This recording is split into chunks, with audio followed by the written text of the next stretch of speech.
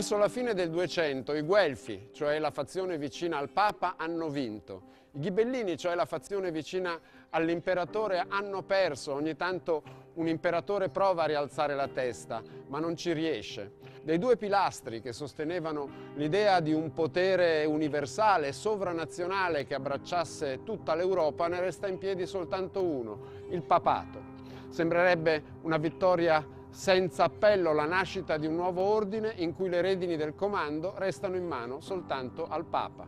Ma la situazione è più complessa, la Chiesa vittoriosa è lacerata da nuove rivalità e nel vuoto di potere creato dalla debolezza dell'impero i re in giro per l'Europa sono sempre più potenti e pretendono sempre più autonomia. Questi nodi vengono al pettine tutti insieme in una cittadina del Lazio nel brevissimo momento di uno schiaffo uno schiaffo che avrà conseguenze pesanti. Roma resterà senza Papa.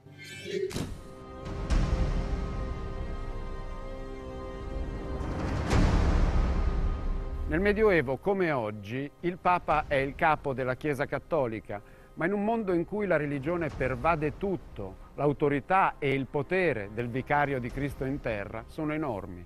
Davanti a lui si inginocchiano re e imperatori. Il destino che tocca a Benedetto Caetani, Papa Bonifacio VIII, però è molto diverso. I suoi contemporanei lo disprezzano, Dante lo mette all'inferno. Il poeta e mistico Jacopone da Todi lo chiama il nuovo Lucifero. Il nobile romano Sciarra Colonna lo prende addirittura a schiaffi qui ad Anagni il 7 settembre del 1303. Questa è la cronaca di un oltraggio, di un attacco senza precedenti alla persona inviolabile di un papa.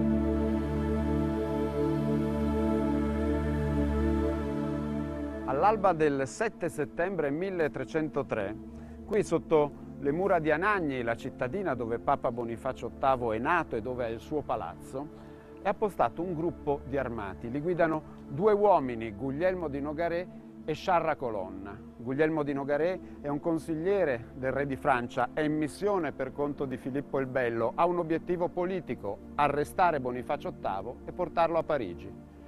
Sciarra Colonna invece, il cui vero nome è Giacomo Colonna, Sciarra è un soprannome che significa il litigioso Colonna, è qui per motivi molto più personali. Odia il Papa con cui la sua famiglia è in guerra da anni. Come Bonifacio fu fatto Papa, annullò tutti i privilegi concessi da Papa Celestino V i privilegi persi, il risentimento nei confronti di un uomo che gli ha rovinato la vita, lo ha privato dei suoi averi, lo ha costretto alla fuga. Sono queste le ragioni che spingono Sciarra Colonna qui ad Anagni. Ma secondo alcune fonti c'è dell'altro, c'è anche un sentimento profondo di antipatia personale. Fatto sta che quando Sciarra, il litigioso Sciarra, si trova davanti Bonifacio VIII, il suo nemico, non si trattiene, lo copre di insulti e lo prende a schiaffi.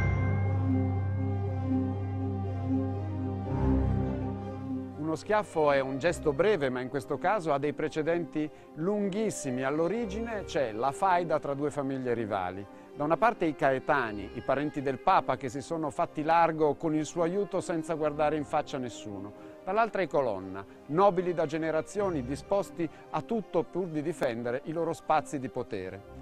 Ma come può la lotta tra due famiglie romane trasformarsi in una crisi internazionale? Per capirlo dobbiamo sbrogliare i fili di una matassa molto intricata, cominciando con la personalità del protagonista, Bonifacio VIII. Papa Bonifacio fu molto altero e superbo contro i suoi nemici e avversari e molto temuto da tutti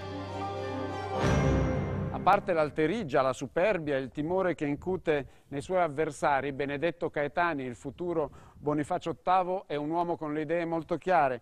Inizia la carriera ecclesiastica perché vuole diventare papa e in questo è aiutato dalle tradizioni familiari. Sua mamma è parente di Papa Innocenzo III, suo zio è un vescovo.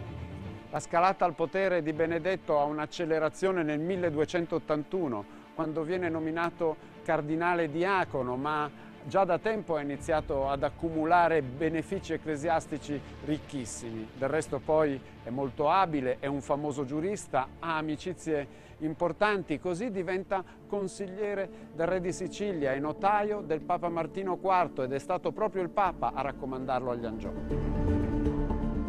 Uomo di profondo giudizio, affidabile, di grande lungimiranza, solerzia e circospezione, pieno di zelo per l'onore degli Angiò. Benedetto fa molti favori a Carlo II d'Angiò, re di Sicilia, cura per lui missioni diplomatiche molto delicate e in cambio riceve doni importanti, feudi e soldi, tantissimi soldi. Il cardinale Caetani è bravo nel farsi benvolere e nel farsi pagare dai potenti. Anche il nuovo Papa Niccolò IV lo considera un suo protetto e si preoccupa per lui. Noi pensiamo che sia inopportuno, anzi dannoso a questa Chiesa, che nel momento in cui tu dovessi salire alla dignità episcopale, la somma delle tue rendite sia diminuita. Nella sua ascesa Bonifacio infila un successo dopo l'altro fino all'apoteosi che arriverà con il primo giubileo della Chiesa Cattolica nel 1300, ma il 7 settembre 1303 i suoi nemici premono alle porte, lui rischia di perdere tutto in un sol colpo, li aspetta con un crocefisso stretto tra le braccia, l'aria impassibile. È un uomo abituato a lottare senza esclusione di colpi, abituato a giocare d'azzardo fin dai tempi in cui è riuscito a mettere le mani sul papato. La partita che Benedetto Caetani gioca per mettere le mani sul papato dura qualche mese. Una partita in cui il futuro Bonifacio VIII non sbaglia una mossa. 5 luglio 1294. Dopo due anni senza papa, finalmente i cardinali si mettono d'accordo su Pietro del Morrone, eremita con fama di santità, appoggiato anche dal re di Napoli Carlo II d'Angiò. Pietro diventa papa col nome di Celestino V. 29 agosto 1294. Celestino viene consacrato papa all'Aquila, poi si trasferisce a Napoli. Celestino ha più di 70 anni, è abituato alla contemplazione, non riesce a sopportare le pressioni che il ruolo di papa comporta. Vorrebbe abdicare, ma non sa come fare. Entra in scena Benedetto Caetani. Il cardinale è un giurista famoso, suggerisce a Celestino la strada per rinunciare al papato legalmente. Il papa lo ascolta ed emana un decreto. 13 dicembre 1294. Celestino V abdica è quello che Dante chiamerà, secondo molte interpretazioni, il gran rifiuto. A questo punto Benedetto Caetani, che si è tenuto con abilità a distanza da tutte le fazioni, rappresenta una soluzione rapida al problema dell'elezione di un nuovo pontefice. Anche Carlo d'Angiò è con lui. Benedetto gli ha promesso di sostenerlo nella guerra contro gli aragonesi per riconquistare la Sicilia, in cambio dei voti dei suoi cardinali. 24 dicembre 1294 il cardinale Caetani diventa papa con il nome di Bonifacio VIII. La curia lascia Napoli e torna a Roma. A questo punto l'unica questione aperta per Bonifacio è Celestino, che è ancora vivo. Di fatto ci sono due papi. Bonifacio se lo fa consegnare e lo chiude in una cella nella rocca di Fomone, al freddo e con poco cibo.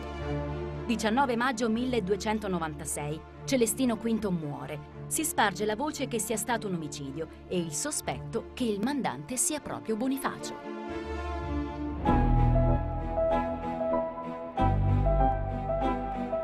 Le critiche, le allusioni, le accuse velate non spaventano Bonifacio VIII che va dritto per la sua strada e mette a frutto il potere accumulato toglie privilegi e concessioni a chi lo ostacola e si dedica meticolosamente all'arricchimento, incassando le rendite sterminate a disposizione di un Papa ed esigendo nuove tasse. In un certo senso poi Bonifacio VIII è un uomo generoso, non pensa soltanto a se stesso ma anche alla sua famiglia che è molto numerosa. Ora il nepotismo all'epoca è una pratica diffusa e accettata ma con lui raggiunge delle vette sconosciute nomina una ventina di vescovi e cardinali, tutti parenti e amici, e chiede anche una mano al re di Sicilia, Carlo II. Chiese al re di Napoli di far diventare conte di Caserta un suo nipote, un altro nipote conte di Fondi e un altro ancora conte di Palazzo.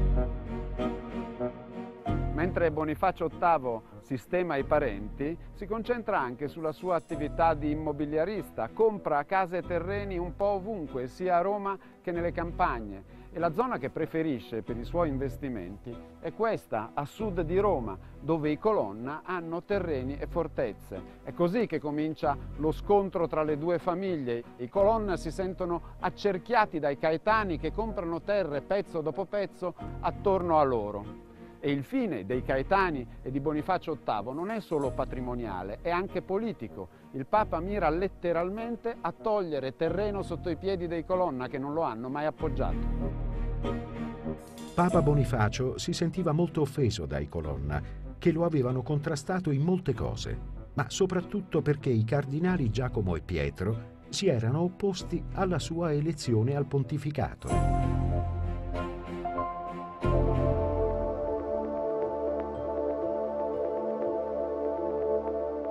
Questo è Palazzo Colonna Barberini a Palestrina, costruito su un antico santuario romano. Oggi lo vediamo nel suo aspetto quattrocentesco, ma nel 200 assomigliava a una fortezza con due torrioni ai lati. Siamo venuti qui perché Palestrina è una roccaforte dei Colonna, un'espressione del loro potere che esercitano a Roma influenzando il papato. I Colonna sono abituati a comandare, ma vengono messi all'angolo con l'elezione di Bonifacio VIII, a tutto vantaggio dei Caetani.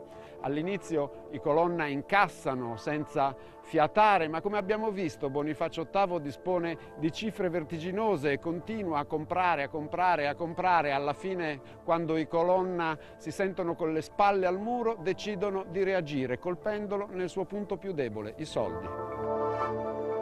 E in questo avvenne che Sciarra Colonna rubò i muli e prese il tesoro della chiesa. Il cronista medievale fa il nome di Sciarra Colonna, in realtà l'autore della rapina che è avvenuta là in fondo sulla via Appia è un altro Colonna, Stefano. In ogni caso il bottino è enorme, 200.000 fiorini divisi in 80 sacchi e trasportati a dorso di mulo. La reazione di Bonifacio non si fa attendere, se la prende con tutta la famiglia Colonna, li definisce ladri, li minaccia e alla fine tanto dice e tanto fa che nell'arco di pochi giorni i Colonna restituiscono la refurtiva. Ma Bonifacio non si placa, l'aggressione contro il suo prestigio, la sua autorità e anche contro il suo patrimonio va comunque punita. Per queste ragioni e per la cattiva volontà dimostrata dai Colonna in precedenza, il Papa reagì contro di loro. Bonifacio colpisce in tutte le direzioni, usa la violenza distruggendo le case e i palazzi dei Colonna a Roma e usa gli strumenti giuridici a disposizione di un Papa per togliere potere alla famiglia rivale. Dispose e privò Giacomo e Pietro Colonna del cardinalato e di molti altri benefici che avevano dalla Chiesa e in ugual modo condannò e privò tutti i colonnesi chierici e laici, d'ogni beneficio ecclesiastico e secolare. In questa partita tra clan familiari il primo punto è a favore di Bonifacio e dei Caetani, ma i Colonna non stanno a guardare e riuniscono qui vicino nel castello di Lunghezza un vero e proprio gruppo di opposizione che davanti a un notaio firma un documento in 12 punti. Il documento dichiara il Papa illegittimo e si chiama Manifesto di Lunghezza. Noi non crediamo che voi siate il Papa legittimo noi denunciamo questa illegittimità al Sacro Collegio e lo preghiamo di consultarsi e di porvi rimedio. Per i Colonna dimostrare l'illegittimità di Bonifacio VIII significa annullare tutti i suoi atti ufficiali e quindi recuperare i privilegi perduti. Per farlo tirano in ballo addirittura la rinuncia di Celestino V che secondo loro è irregolare. Noi abbiamo udito spesso che personaggi di grande autorevolezza, sia ecclesiastici che secolari, dubitavano fortemente che la rinunzia decisa da Celestino fosse legittima e canonica quel noi che denunciano il Papa e sottoscrivono il manifesto di lunghezza, appartengono quasi tutti al grande clan dei Colonna, ma ci sono anche tre francescani, uno di loro particolarmente famoso e autorevole, il poeta e mistico Jacopone da Todi, autore di un'invettiva contro il Papa. Nell'occupare il seggio papale sei stato un novello Lucifero, riuscendo ad avvelenare il mondo, cosicché in esso non si trova più una sola cosa buona, ma solo bruttura di peccato e delle cose di cui sei accusato, delle quali è vergogna anche solo dire i nomi. A questo punto lo scontro fa un ulteriore salto di qualità, non più soltanto scambi di accuse e calunnie incrociate, un palazzo distrutto qua, un castello bruciato là, diventa una vera e propria guerra, vengono reclutati eserciti, assediate città, una guerra che dura due anni. Alla fine Bonifacio vince, i colonna sono costretti alla resa e umiliati. Si gettarono ai piedi del Papa chiedendo misericordia e lui li perdonò, assolvendoli dalla scomunica. Poi volle che gli cedessero la città di Palestrina e loro accettarono. I colonna cedono Palestrina, ma non si aspettano il destino che il Papa ha in mente per la loro città. Bonifacio la fa radere al suolo e cospargere di sale. Questo nuovo inganno e questa nuova violenza fanno capire ai Colonna che non ci sarà mai spazio per un accordo definitivo, non ci sarà mai spazio per la pace. L'unico modo che però gli è rimasto per resistere è fuggire e cercare aiuto all'estero. Lo trovano in Francia dal re Filippo il Bello ed è così che una faida tra famiglie romane diventa una crisi internazionale. 1285 Filippo il Bello diventa re di Francia ed eredita una situazione politica e finanziaria molto difficile. La Francia è in guerra contro l'Aragona, è impegnata in Italia meridionale ad appoggiare gli Angioini e Filippo deve affrontare anche i contrasti con l'Inghilterra di Edoardo I. Tutto questo costa molto e le finanze di Filippo sono stremate. 1294. Gli attriti diplomatici con l'Inghilterra si trasformano in guerra una guerra che durerà quattro anni, lasciando le casse francesi ancora più vuote. In questo periodo gli interessi di Filippo il Bello e di Bonifacio VIII iniziano ad entrare in collisione. Per risolvere i suoi problemi finanziari, Filippo pretende di riscuotere le tasse anche dal clero. 1296. Il Papa risponde con una bolla che stabilisce la scomunica per i laici che impongono tasse al clero e per i chierici che le pagano. 1301. Dopo anni di schermaglie, Filippo fa arrestare il vescovo di Pamiers, colpevole di essersi rivolto al Papa anziché al re per risolvere una questione con il conte di Foix. Il nodo è venuto al pettine. Per Filippo, il re deve governare nel suo regno senza concorrenti. I membri del clero sono suoi sudditi come tutti gli altri. Per il Papa invece tutti i chierici, inclusi quelli francesi, devono obbedire a lui, essere giudicati da lui e pagare le tasse a lui. Filippo rivendica l'autonomia del regno nazionale, Bonifacio invece pretende il riconoscimento dell'autorità universale e suprema della Chiesa, a cui persino i re sono sottoposti. Le due posizioni sono inconciliabili. 1301. Bonifacio convoca a Roma un sinodo sulla tutela della libertà ecclesiastica. La risposta di Filippo non si farà attendere. Quando il Papa convoca il Sinodo la situazione è questa. I colonna sono sparpagliati, alcuni di loro sono nascosti alla macchia, altri hanno raggiunto il re di Francia e Filippo vuole rispondere al Papa, vuole affermare la sua supremazia, addirittura mette Bonifacio sotto processo. Filippo organizza a Parigi un grande concilio di chierici, prelati e baroni per giustificarsi e lanciare accuse contro Bonifacio VIII, ritenuto colpevole di illegittimità, eresia, simonia, sodomia. Per sostenere queste accuse, soprattutto quella di illegittimità, è molto utile per il re di Francia la presenza dei Colonna a Parigi. I Colonna, prima di scappare e abbandonare i loro rifugi, come questo, la rocca di Castel San Pietro sopra Palestrina, hanno preso con sé documenti e prove che possono aiutare Filippo ad incastrare il Papa, incluso il manifesto di lunghezza. Durante il processo poi si scatena una sorta di frenesia antipapale, si producono testimoni che spuntano dal nulla. Uno di loro in particolare si chiama Giacomo da Palombare. Questo Giacomo da Palombara è un monaco benedettino e dice di aver sentito Bonifacio VIII fare delle affermazioni sconcertanti. È una testimonianza che quasi sconfina nel pettegolezzo.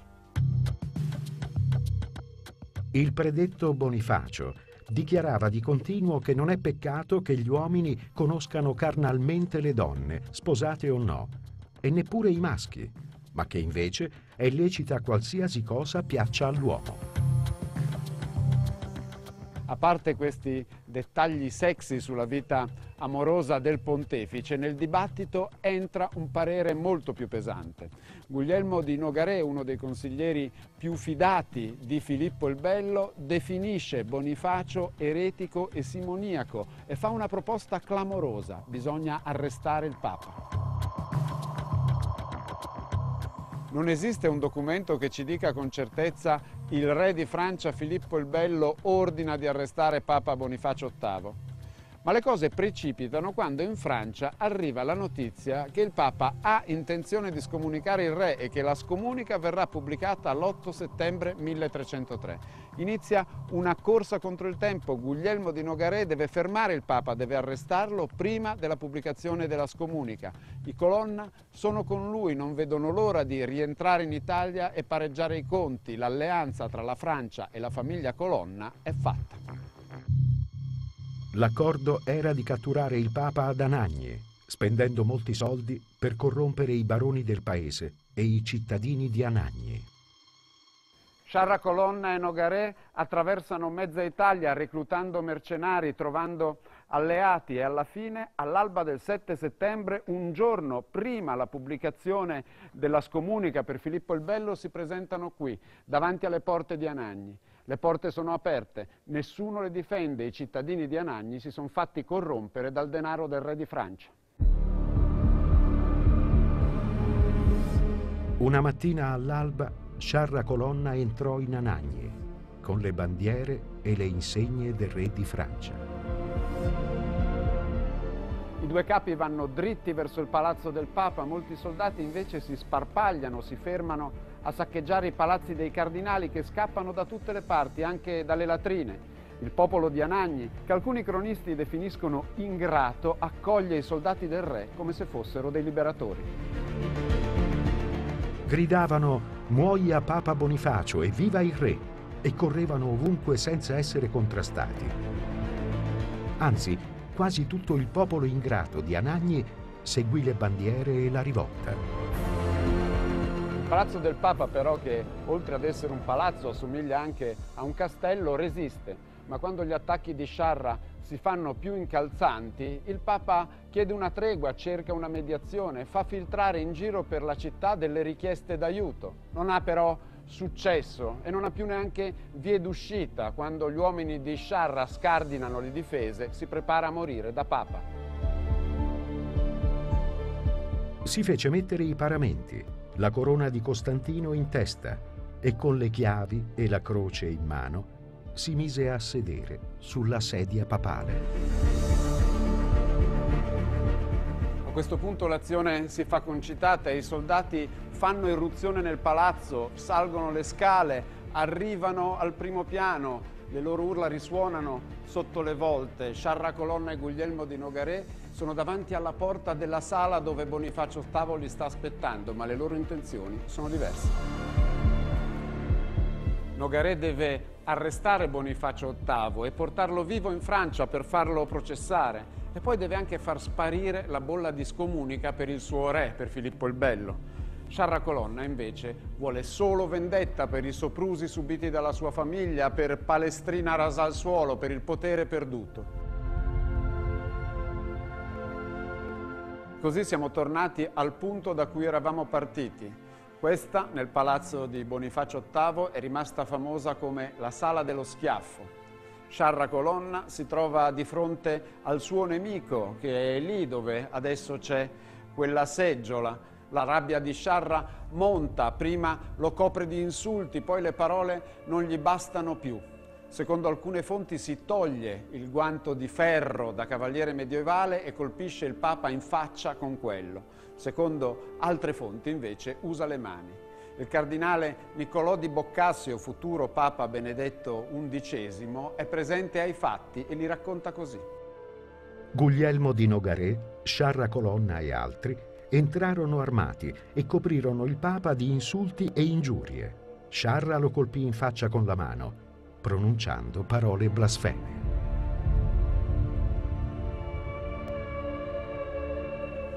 Sciarra non si calma dopo aver preso a schiaffi il Papa, vorrebbe ammazzarlo con le sue mani, Nogaré però lo ferma. Intanto i soldati si buttano come cavallette su un bottino che risulta essere enorme, 2.265.000 fiorini, 8 tonnellate d'oro, oggi sarebbe il bilancio di un piccolo Stato. In questa situazione di stallo si decide di rispettare l'incolumità del Papa, ma di limitarne i movimenti. Come piacque a Dio, per conservare la santa dignità papale, nessuno osò toccare il Papa, ma fu messo sotto cortese sorveglianza. La cortese sorveglianza è in realtà la reclusione di Bonifacio VIII nei suoi appartamenti. La prigionia dura tre giorni, poi per Anagni si diffonde la voce che i Colonna lo vogliono ammazzare e allora gli stessi cittadini di Anagni che lo avevano tradito e venduto di fronte alla possibilità dell'omicidio di un papa si pentono e cambiano idea. Ravveduti del loro errore e dell'ingratitudine, presero le armi e gridando Viva il Papa e muoiano i traditori, cacciarono Sciarra Colonna e i suoi seguaci. Bonifacio VIII quindi è libero ma non si sente più sicuro ad Anagni e torna a Roma con tutta la sua corte. Si barrica dentro San Pietro e un mese dopo muore secondo alcuni ucciso dal trauma, dall'umiliazione e dalla rabbia. Il dolore nel cuore di Papa Bonifacio per l'offesa ricevuta, che tutto si rodeva come se fosse rabbioso, lo passò a un'altra vita. C'è invece chi sostiene in modo molto più prosaico che siano stati i calcoli renali ad ammazzarlo. Nel frattempo i Colonna rientrano in possesso di tutti i loro privilegi e di tutti i loro averi. Ma tra vinti e vincitori la figura che forse emerge in modo più deciso è quella del re di Francia, Filippo il Bello.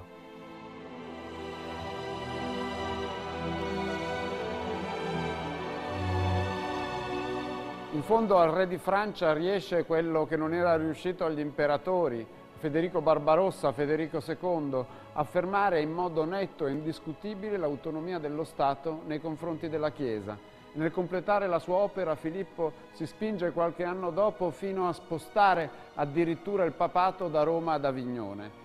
Uno schiaffo è un gesto breve, ma in questo caso le sue conseguenze sono lunghissime.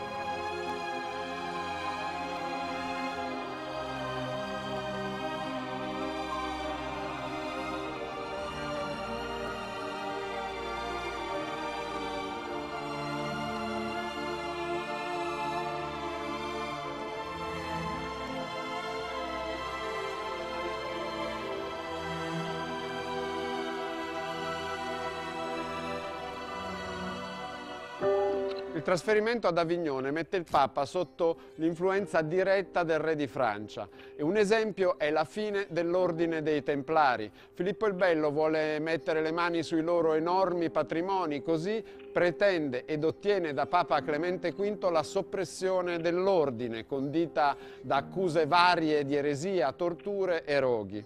Intanto a Roma si è creata una situazione inedita, non c'è più il Papa, non c'è più l'autorità con cui per secoli si è identificata la città stessa. In questo vuoto, verso la metà del Trecento, emerge un uomo che vuole risolvere la crisi andando a recuperare le radici più antiche di Roma, di una Roma prima dei papi, la Roma dei Cesari.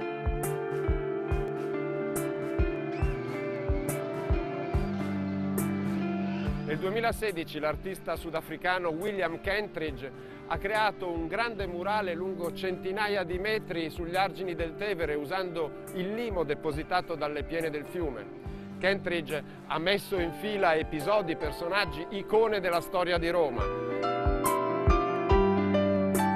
Si va dalla lupa con i gemelli a Marcello Mastroianni e Anita Ekberg della Dolce Vita fino ad Anna Magnani in Roma città aperta.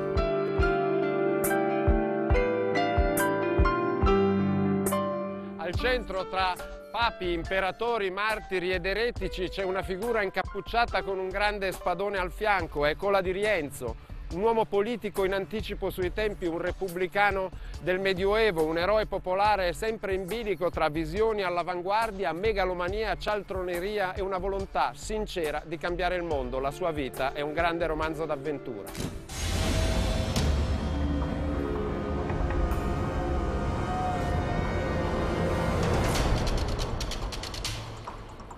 Siamo a Roma in Campidoglio, è l'8 ottobre del 1354, questo è il Palazzo Senatorio disegnato da Michelangelo, oggi c'è il Comune di Roma, anche nel 300 è la sede delle istituzioni cittadine, ma ha un aspetto meno solenne, senza marmi, scaloni e statue. Dentro il palazzo è barricato il tribuno Cola di Rienzo. Qua sotto nella piazza una folla che cresce di minuto in minuto e lo vuole morto. Lo stesso popolo per cui un tempo Cola di Rienzo era un eroe. Si alzava una voce. Viva il popolo! E a questa voce la gente scendeva in strada da ogni parte. La gente cresceva, la voce ingrossava. Muoia il traditore Cola di Rienzo. Cola di Rienzo è chiuso lassù nelle stanze del palazzo, con lui sono rimasti solo tre fedelissimi. Iniziano a volare le pietre, dopo le pietre le frecce, la minaccia di un linciaggio diventa sempre più reale. Lui ha uno scatto d'orgoglio, si mette la corazza, prende la spada, tiene in mano il gonfalone della città di Roma ed esce sul balcone. Mostrava le lettere d'oro, lo stemma dei cittadini di Roma, come se volesse dire ecco, io sono cittadino e popolano come voi, vi amo. E se uccidete me, uccidete voi stessi. Nonostante l'enfasi delle parole se uccidete me, uccidete voi stessi, dalla piazza parte una freccia che lo ferisce a una mano. Ma come ha fatto Cola di Rienzo a precipitare fino a questo punto? Per cominciare dobbiamo presentare i protagonisti della nostra storia, a partire da Roma, la Roma del Trecento, che è molto diversa dalla Roma dei Cesari. Tanto per dare un numero, la Roma antica aveva circa un milione di abitanti, questa ne ha 30.000. I centri monumentali sono in rovina e hanno cambiato nome. Il foro romano è diventato il campo vaccino, il campo delle vacche e il Campidoglio, questo colle, è il Monte Caprino, il Monte delle Capre. È un posto strano, non è città, non è campagna. I mausolei degli imperatori sono diventati il cuore del potere delle grandi famiglie. Quello di Augusto, da questa parte del Tevere è la fortezza dei Colonna, il mausoleo di Adriano, Castel Sant'Angelo. Dall'altra parte del fiume è la roccaforte degli Orsini. La vita a Roma è molto pericolosa, il Papa non c'è, è ad Avignone, manca un'autorità riconosciuta e la rivalità tra le grandi famiglie degenera in una continua guerra tra bande. Il popolo che sta in mezzo è paralizzato dalla paura. Nessuno governava. Ogni giorno si combatteva, ovunque si rubava. Dove si poteva si disonoravano le vergini. Non c'era rifugio. La moglie veniva strappata al marito nel suo letto. I lavoratori, quando uscivano per lavorare, erano rapinati. I pellegrini non erano difesi, ma scannati e derubati.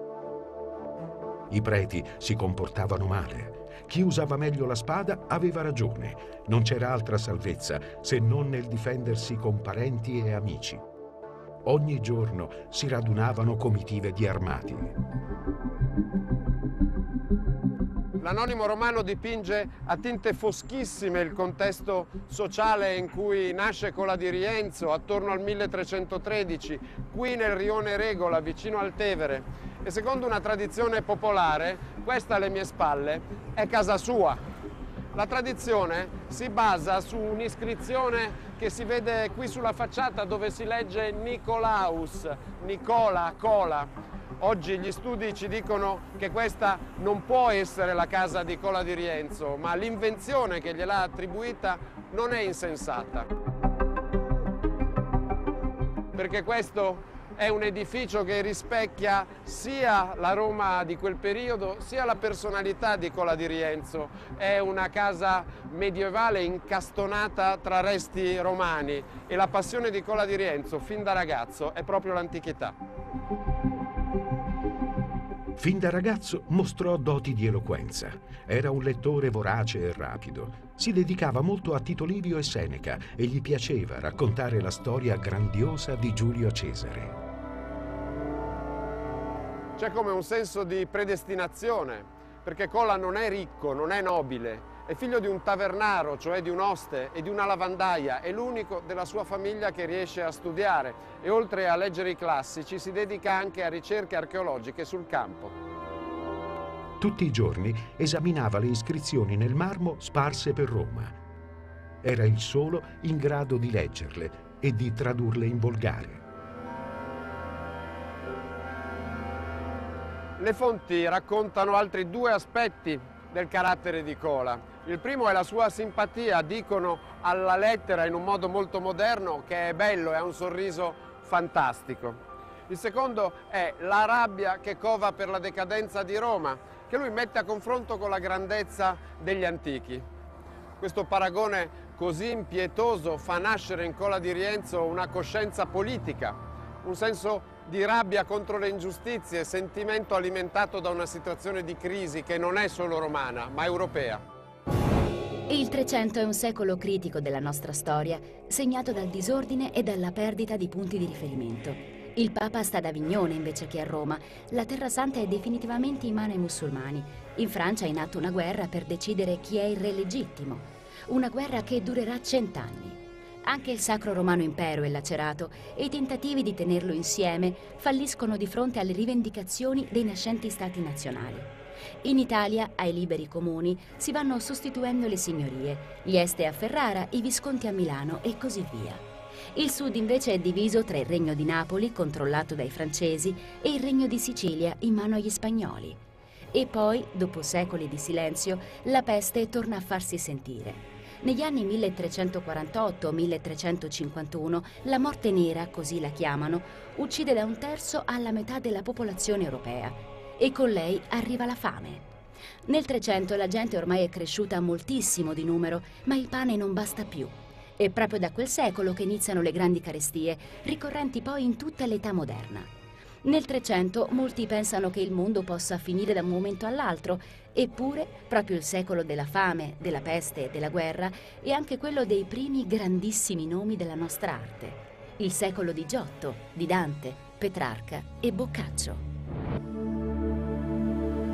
Questo è il quadro generale. Roma senza Papa è, come abbiamo accennato, ostaggio delle grandi famiglie, quattro su tutte, Colonna, Orsini, Savelli e Caetani. Anche la geografia della città è segnata dal loro potere. I palazzi sono tutti qui attorno al Campidoglio come a tenerlo sotto controllo. I Savelli hanno costruito il loro laggiù sul Teatro Marcello, i Colonna invece sono da quella parte a Piazza Santi Apostoli. Tutta Roma poi è divisa in zone di influenza fortificate quasi dei feudi all'interno delle mura. È un clima opprimente in cui Cola di Rienzo muove i primi passi.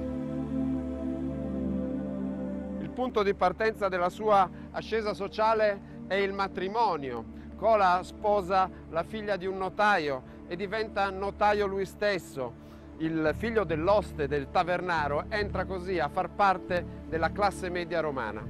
Ma il momento decisivo della sua carriera è nel 1342 quando approfittando di una situazione politica favorevole Cola riesce a farsi mandare ambasciatore dal Papa ad Avignone e si presenta davanti al pontefice con un atto d'accusa contro i nobili romani. Allora si alza Cola e dice che i baroni di Roma sono banditi di strada, che permettono omicidi, ruberie, adulteri e ogni male. Il Papa si indignò molto contro i potenti. Papa Clemente VI è francese e non si lascia condizionare dalle lotte di potere interne alle famiglie romane. Al contrario, con grande sorpresa di tutti, dà credito alle parole di quel giovane e sconosciuto notaio. Il suo discorso fu così eloquente e bello che subito incantò Papa Clemente. Cola resta ad Avignone due anni e alla fine della missione ottiene una nomina papale molto importante, notaro della Camera Capitolina, un ruolo delicato nella macchina amministrativa romana e con questo incarico in tasca torna a casa.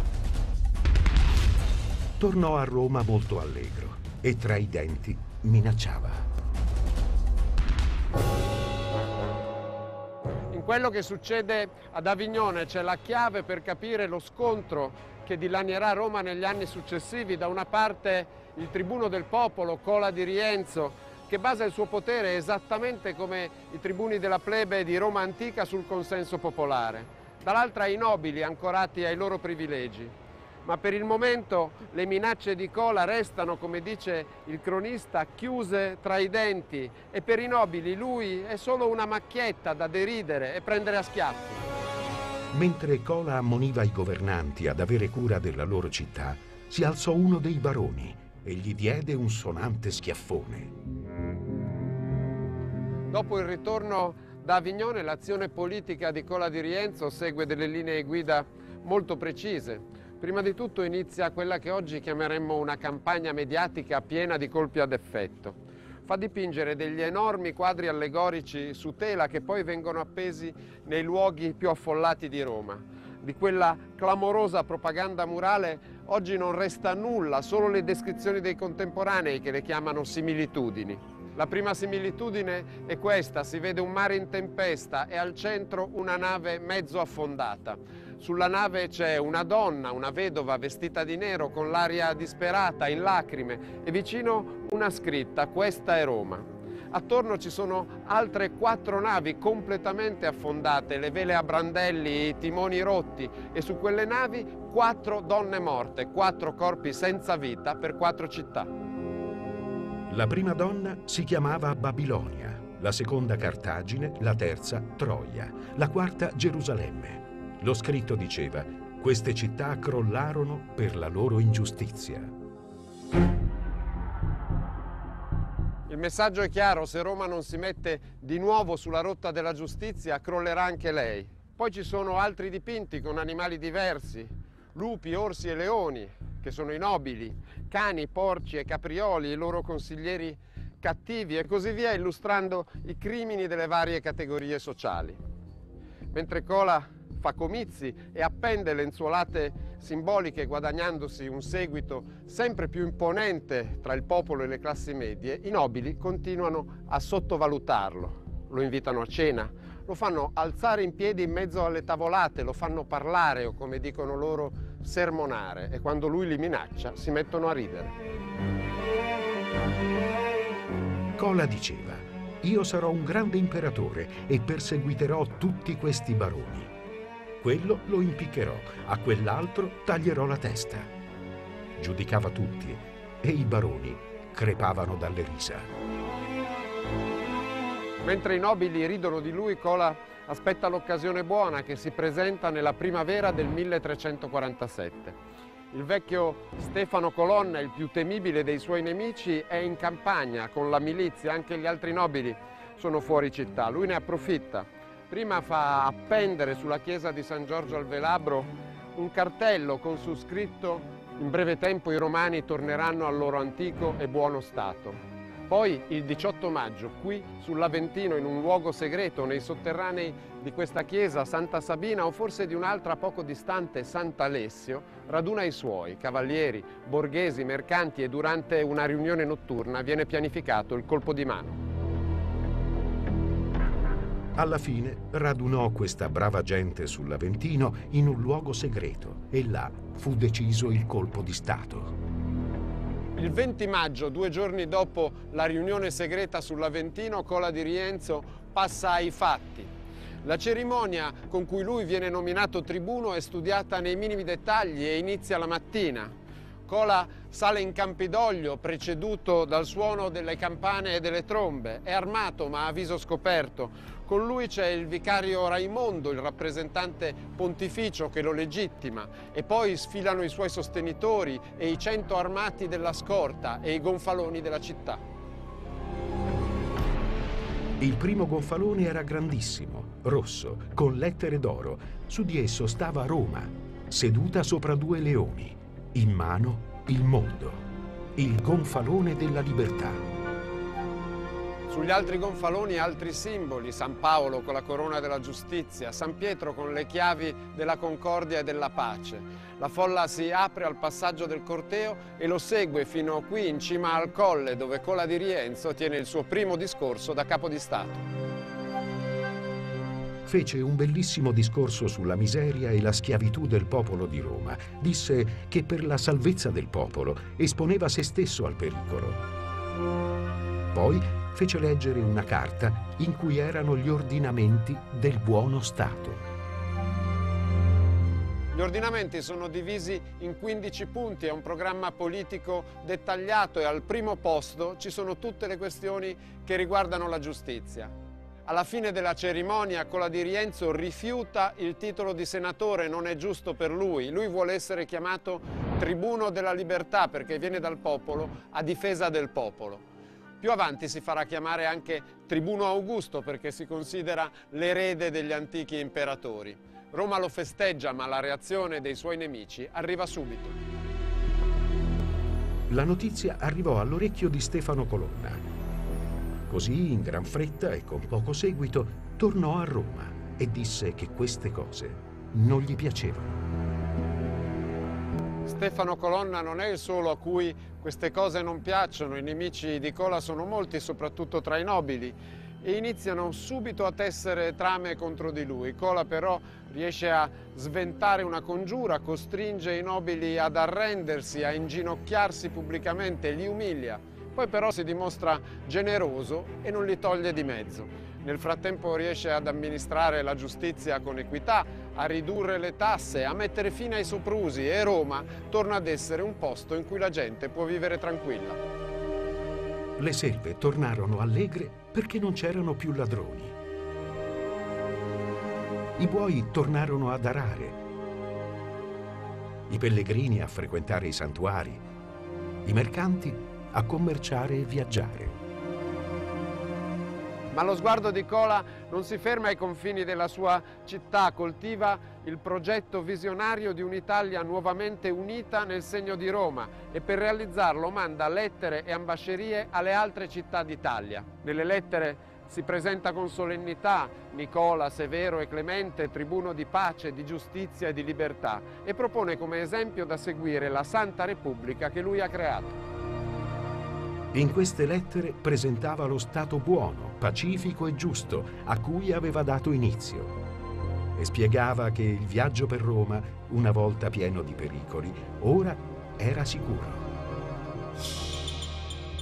È un inizio promettente, ma dopo pochi mesi tutta l'impalcatura comincia a traballare.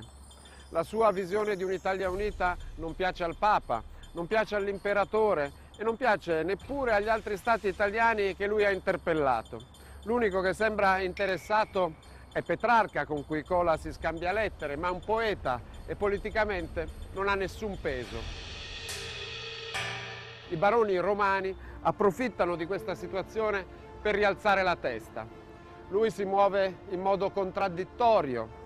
L'invita a cena è una trappola per arrestarli e toglierli di mezzo, ma poi dopo averli tenuti prigionieri per un breve periodo, dopo averli trascinati fin sotto il patibolo, cambia idea. Perdonò i baroni e disse che dovevano mettersi al servizio del popolo. Ed essi ad uno ad uno si inchinarono. Poi alcuni li fece patrizi, altri prefetti, altri duchi di Toscana, altri ancora duchi di Ciociaria. Dopo questa messa in scena della sua clemenza piena di dettagli stravaganti, come l'attribuzione di ducati che non esistono, Cola li lascia andare. I baroni non gli perdoneranno l'umiliazione, la seconda e a Roma tutti lo capiscono subito. Il cronista riporta le voci di strada. Questo ha acceso un fuoco e una fiamma che non potrà più spegnere, ma Cola non vede il pericolo. Alla goffaggine politica si aggiungono i comportamenti personali impopolari. Sua moglie Livia pretende vestiti lussuosi, gioielli, camerieri. Lui stesso si è fatto prendere la mano dal gusto per le cerimonie pompose L'anonimo romano dice che si veste come un asiano tiranno, un despota orientale, e che vuole tiranniare per forza. Era un campione della giustizia, ora è l'esempio dell'iniquità. Nel frattempo questo tribuno era diventato iniquo e molta gente iniziava a parlare contro di lui. Cola è sempre più instabile, mangia troppo, beve troppo, non convoca più le assemblee popolari, aumenta le tasse. La resa dei conti arriva in un giorno di dicembre qui, in questo posto nel cuore di Roma che adesso è ingabbiato dai ponteggi tra le rovine del portico d'Ottavia e la chiesa di Sant'Angelo in Pescheria. I partigiani dei baroni si sono ribellati e barricati nel quartiere qui dietro. Cola fa suonare le campane di questa chiesa di Sant'Angelo per chiamare a raccolta il popolo e domare la ribellione. Nessuno gli risponde. Un giorno e una notte suonò a stormo la campana di Sant'Angelo Pescivendolo, ma nessuno accorse ad abbattere le barricate. Il popolo gli ha voltato le spalle, è rimasto solo, vede agguati da tutte le parti, ha paura e alla fine cede. Nella caduta non rinuncia alla teatralità e ai pochi che lo ascoltano dice una frase ad effetto, nel settimo mese discendo dal mio dominio, poi sale a cavallo, prende le insegne imperiali, fa suonare le trombe d'argento e va a rifugiarsi a Castel Sant'Angelo. Iniziano così sette anni da fuggiasco, esule, eremita e questuante per le corti d'Europa. 1348. Colla di Rienzo vive dagli Orsini a Castel Sant'Angelo, in una posizione ibrida tra l'ospite e il prigioniero. In questo periodo viene raggiunto dalla scomunica. I mesi passano tra Roma e Napoli, dove Cola cerca l'appoggio del nuovo re, Luigi d'Ungheria. Nel frattempo a Roma i baroni si riprendono tutte le cariche. Il 1348 è anche l'anno della peste nera, che uccide un terzo della popolazione europea. La catastrofe ha un effetto negativo su Cola. Luigi d'Ungheria, per paura del contagio, se ne va da Napoli e lo lascia solo e senza appoggi. Ma ha anche un effetto positivo. Gli orsini che lo tengono in custodia muoiono. Lui scappa e va a vivere con gli eremiti sulla Maiella. 1350. Dopo due anni di vita mistica sulle montagne, Cola va a Praga dall'imperatore Carlo IV. Sostiene di essere suo cugino illegittimo e gli chiede di intervenire in Italia ma Carlo lo fa arrestare, lo tiene a Praga e lo usa come arma di trattativa con il Papa che ne pretende la consegna.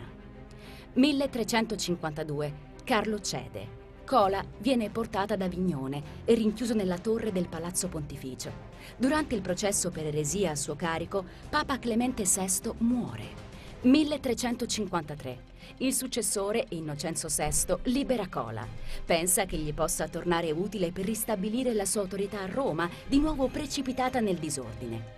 Lo manda al seguito del capo della missione, il restauratore dello Stato Pontificio, cardinale Albornoz.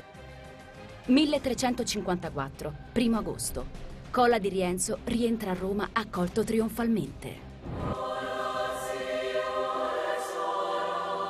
Il nuovo innamoramento dura pochissimo, 69 giorni per la precisione. Quella di Rienzo non è più il tribuno eletto dal popolo, il difensore del popolo, è un senatore nominato dal Papa alle dipendenze del Papa e non è più neanche il giovane uomo simpatico, bello e con un sorriso fantastico, un ubriacone obeso, il simbolo stesso della decadenza. Qualunque cosa vada storta è colpa sua, aumentano le tasse, è colpa sua, aumenta il prezzo del grano, è colpa sua, con un aggravante non è soltanto un uomo di governo incapace, è un traditore degli antichi ideali.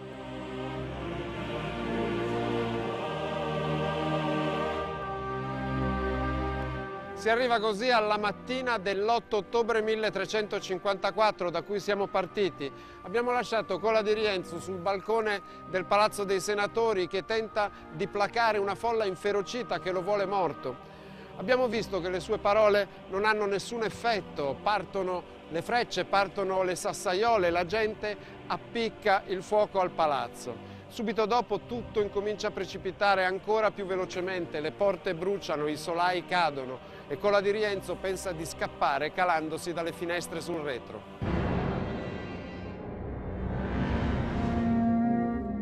Prese delle tovaglie da tavola, se le legò in vita e si fece calare nel vuoto davanti alla prigione.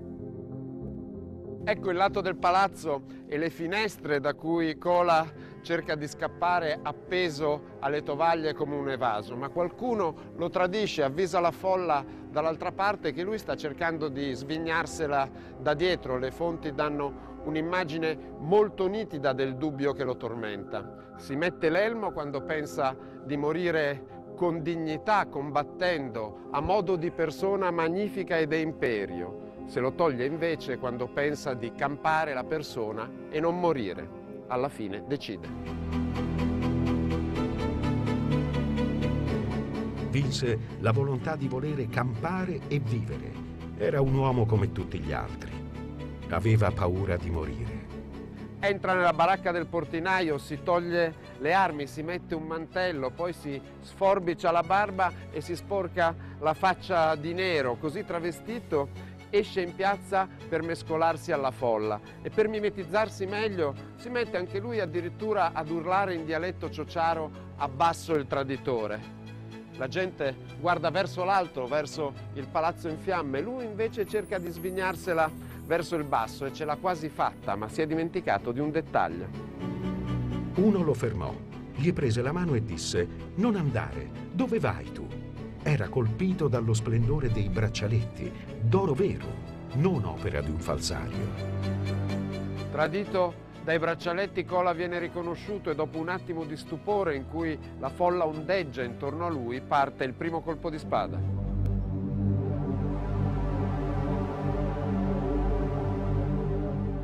Allora tutti iniziarono a colpirlo. Lui non disse una parola. Morì al primo colpo non sentì dolore. La cronaca del linciaggio prosegue insistendo su dettagli splatter. Lo legano per i piedi e lo trascinano giù dal colle attraverso le stradine del quartiere medievale che occupava un tempo quella che oggi è Piazza Venezia. Durante il tragitto la folla continua ad accanirsi sul corpo che perde i pezzi. Quello che resta di lui quando viene appeso di fronte a Palazzo Colonna, in piazza Santi Apostoli, laggiù da quella parte, è poca cosa. La testa non c'è più, gli arti si sono persi per strada, c'è solo un tronco dall'aspetto disumano e per raccontarlo lasciamo la parola alla fonte senza tradurla in italiano moderno. Grasso era orribilmente, bianco come latte insanguinato. Tanta era la sua grassezza che pareva uno smisurato bufalo, ovvero vacca a macello.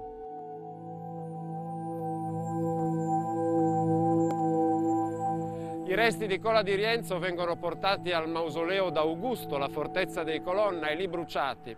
Gli viene negata una sepoltura cristiana di lui, si vuole eliminare ogni traccia. L'anonimo romano scrive che il suo corpo fu arso e non ne rimase neppure una cicca. Ma questo tentativo di cancellazione della memoria fallisce.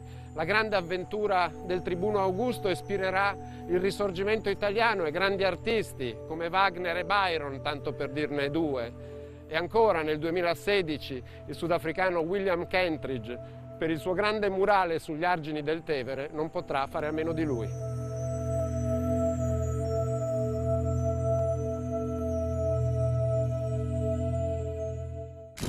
Parte le suggestioni romantiche, le celebrazioni dell'eroe visionario e incompreso, l'azione spesso velleitaria di Cola di Rienzo ha lasciato un'eredità vera.